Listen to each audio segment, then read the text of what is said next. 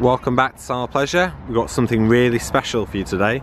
This is a Lunar Clubman SR caravan from 2017. It's nearly new. Let's go and take a look. So you can see at the front we've got AL-KO hitch and AL-KO ATC is included. Automatic trailer control. You can see that there is external gas and external electric points just in there and from examining the single axle alloy wheels and a Powrtouch motor mover is included as well. Let's look at the front. Very bright caravan. You just see it's the sunroof here. Letting plenty of light in. We've got fly screen. And we've got blinds as well just in there. At the front you see we have the sunroof bright curtains. This makes into a double bed.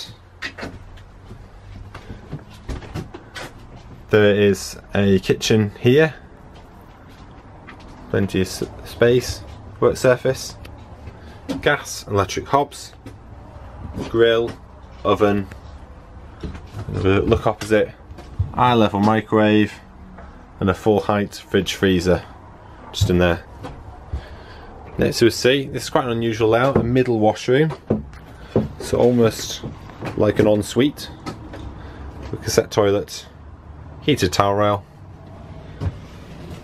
wash base in the middle, and a cubicle shower. Quite nice tiling there, quite stylish.